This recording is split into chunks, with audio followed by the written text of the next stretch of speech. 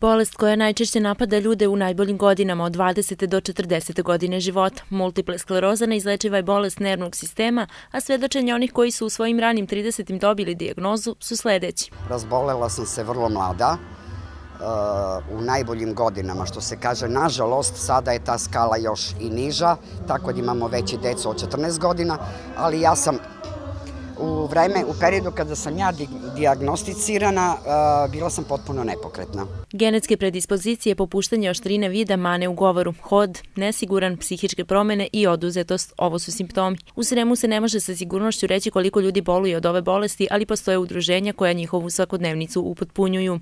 Naše udruženje ima 80 članova, od toga je samo 40 pokretnih koji mogu da dođu na radionice. Najčešće radionice radimo to nisam rekla, radionice radimo, e, radi te fine motorike, znači očuvanje e, tih sitne motorike e, njihovih ruku i da, kako se zove, malo da podstekamo to neku kreativnost. Ono što traže je minimum, olakšati njihovu svakodnevnicu u vidu rampa umesto stepenica i sličnih stvari za funkcionisanje. Postoji 14 udruženja u različitim gradovima. Svako od naših obolelih može da se javi.